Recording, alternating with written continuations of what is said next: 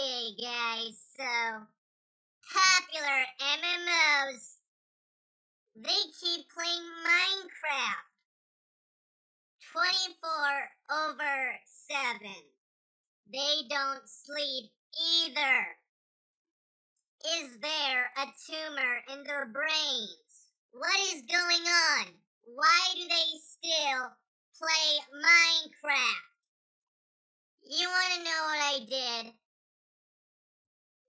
I drove my helicopter to their houses and I asked them, want to go to a Minecraft amusement park? They got on board and I dropped them off in the middle of a forest and I left. I left them behind.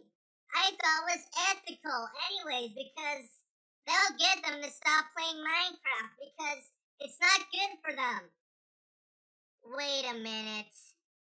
Could you play Minecraft on portable devices? Do they have some? They'll run out of batteries anyways, so.